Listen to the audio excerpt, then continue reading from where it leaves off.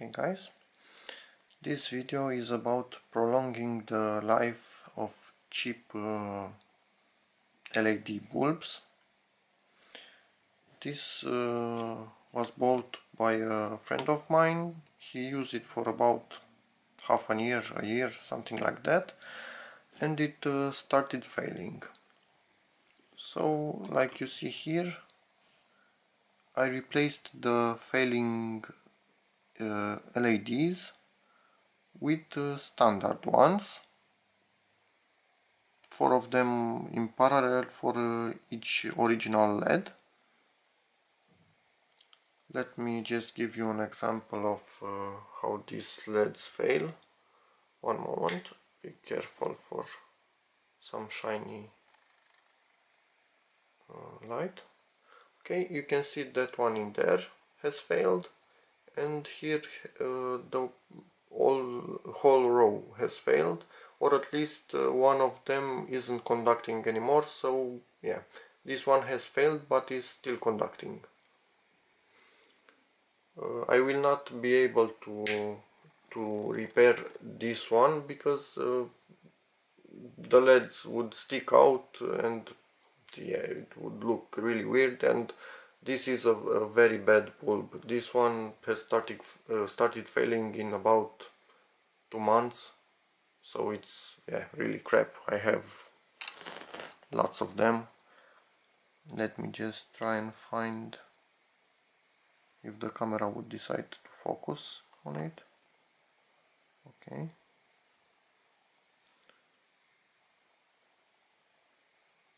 Yeah can seem to find one. Okay there we have one.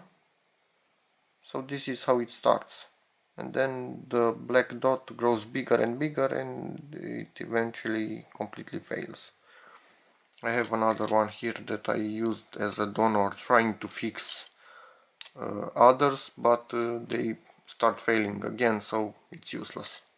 These are complete crap. But this type can uh, be salvaged because uh, yeah they have this over it. So if you put uh, this type of standard LEDs uh, in you will not be able to see them so they will not bother you. Uh, yeah this power supply was not uh, a problem but my friend uh, cut it uh, cut the protection the insulation off to see what's inside. So I had to use uh, temperature resistant uh, tape to put it back together. So yeah it's really hard to unsolder these original ones because this is aluminium and it will draw away all the heat. And from what I remember they have a solder point in the middle. Yes they have. So I just uh, pushed them off with a screwdriver if I remember you can see the scratch marks. But uh, yeah that didn't do anything bad. So yeah. Now I will just have to put it back together. I will stop the video for a moment.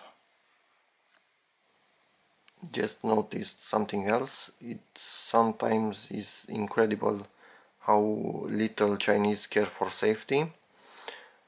These in the corners are the positive and negative contacts. You can see they are extremely close to the edge and the wires are uh, uh, bonded in place uh, a little bit at an angle and the absolute single thing that's keeping this board uh, in its uh, place is this which is aluminium. So those could get uh, could get uh, short-circuited extremely easily. So yeah. Jesus I, I have to st stop uh, stop buying cheap Chinese crap and tell, tell all my friends to not buy them anymore. It's no I understand that you make something cheaply and it will not last long but don't do stupid things like this. Yeah. So sorry for that. Let's continue. Okay. The light bulb is in. Let me just turn it on.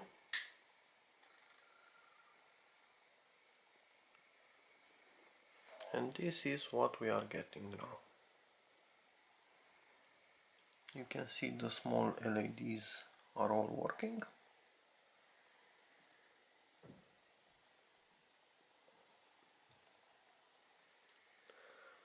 And this will be used uh, on a hallway where it will not stay lit for long periods of time so it can't overheat uh, anymore. But I just save it for uh, a few more years probably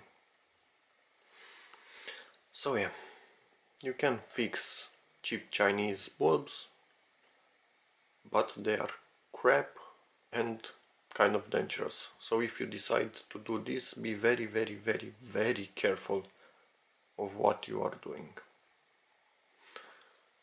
Now I will just have to put this back and secure it uh, with uh, a little bit of glue so it will not uh, come off again. By itself of course. So thanks for watching. Actually one moment. Not thanks for watching. Not this second anyway. If I could unplug this with one, one hand. Let me just show you how this looks I've unplugged this lamp so I don't electrocute myself.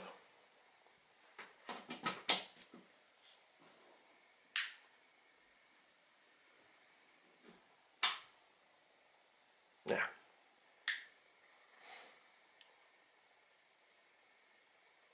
You almost have no idea of what's inside.